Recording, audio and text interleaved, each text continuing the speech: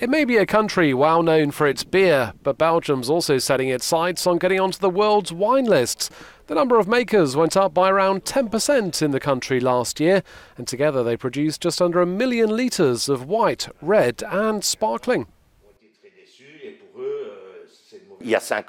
Five years ago, we had about 80 hectares of vines for the whole of Belgium, he says. We now have 350. So we've been able to multiply the area by five, the production also. So over the past five years, everything has been progressing.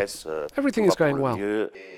John believes that climate change may partly explain the improvement in Belgian wine production, but he also recognises that all the hot sunshine of this year will mean changes in the grape harvesting calendar.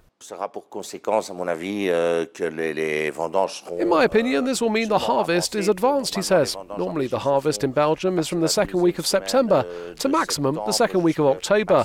I think many vineyards and winemakers will do the harvest this year in early September.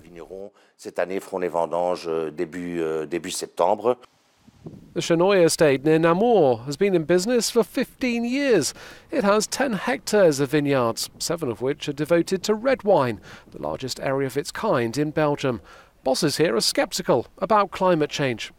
Je me méfie beaucoup de cet argument parce que I'm very wary of this argument because, first of all, we don't know if there's a warming, he says. For me, I prefer the words climate change, so we don't know where we're going. I'm also wary of extreme events. We have a year when everything is fine. It's nice, hot, like the Mediterranean. All Belgians are smiling. So am I. But that doesn't protect us from storms and hailstones. Of course, we can see changes. That's the impression. But how do we know that in 30 years it won't go in the opposite direction? Qui dit que dans, dans 30 ans, ça n'ira pas dans un sens inverse, j'en sais rien. Jean Bernard thinks the growth in Belgian wine production is down to many factors. The vines are maturing, and growers know their lands better. Il faut euh, à la fois euh, avoir les terroirs. You have to have the climatic conditions, he says. Then you have to know how to do it, and that cannot be improvised. Euh, you have to have theory, but also a lot of practice. Il faut à la fois avoir de la théorie, mais surtout beaucoup. And with aging vines, we start to have a Belgian wine ecosystem that really exists. This was not the case 20, 25 years ago. We felt very alone. Réellement, c'était pas le cas il y a, il y a, il y a 20 ans, 25 ans, où à mon avis on se sentait très très seul.